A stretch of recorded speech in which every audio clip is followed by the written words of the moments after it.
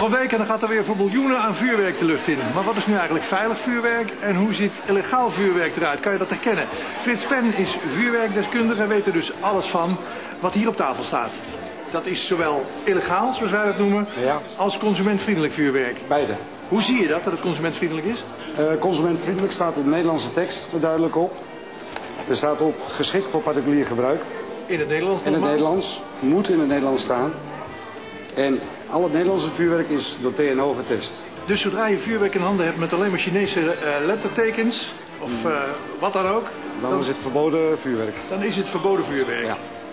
Ehm, nou heeft u van alles meegenomen. Dit is allemaal Consumentenvuurwerk. consumentenvuurwerk. Dit ook? Dit ook. Dit. Deze ook. Die ook? Deze is consumenten en die niet. En hier zie je inderdaad alleen maar... Even, even kijken, hier staat ook eh, warning, explosive. Use only under close adult super- super- supervision. Dat klopt. sorry. Dit is eh, dus de verboden consumentenrol. Illegaal vuurwerk in de volksmond. En hier staat de Nederlandse tekst ook op, op deze. Nou hebben we het... Dit is dus illegaal vuurwerk. Is dat dan gevaarlijk? Op zich is illegaal vuurwerk niet gevaarlijk voor de mensen die ermee om kunnen gaan. Professionals. dus. Professionals. Mensen zoals u. Ja. Vuurwerk eh, in het algemeen is niet gevaarlijk. Het wordt meestal gevaarlijk gemaakt, gebruikt. Eh, je moet eigenlijk weten wat je moet doen precies. Juist. Je moet die gebruiksaanwijzing goed, goed Ja, lezen. staat overal op. Behalve hier dus op, dat Daar staat illegaal vuurwerk, daar staat het niet op. Dus dan moet je van wanten weten. Juist. En je moet weten, dit kan hard knallen. Ja, En hier kan je je dus snel aan verwonden misschien. normaal wel. Ja. En dat is met consumentenvuurwerk, dat is getest op een bepaalde afstanden tot publiek. En dat is een stuk veiliger.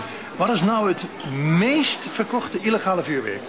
Wat wij zo horen zijn dat eh, de strijkers en de Chinese rollen. Deze Chinese rollen, die worden veel verkocht. Ja. En de strijkers, heeft u die toevallig ook Nee, bij u? heb ik niet bij me.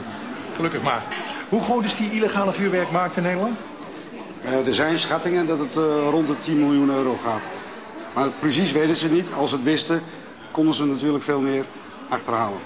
En enig idee waarom die markt zo groot is?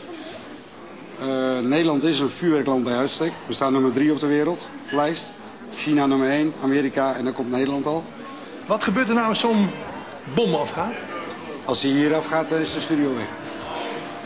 Is het echt zo? Ja, dit deel van de studio is onherkenbaar. Wat zit er dan in? Die zal een gewicht hebben van en bij de 18 kilo kruid.